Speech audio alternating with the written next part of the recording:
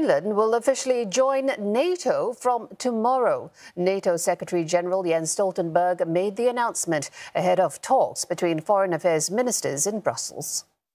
Tomorrow we will um, welcome Finland uh, as the 31st member of uh, NATO, making Finland safer and our alliance stronger.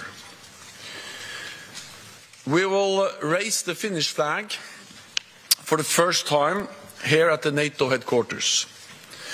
It will be a good day for Finland's security, for Nordic security, and for NATO as a whole.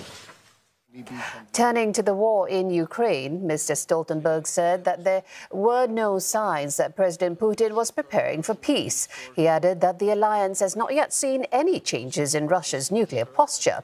Last week, President Putin announced that he intends to place tactical nuclear weapons on the Belarus border to help fend off attacks on Moscow.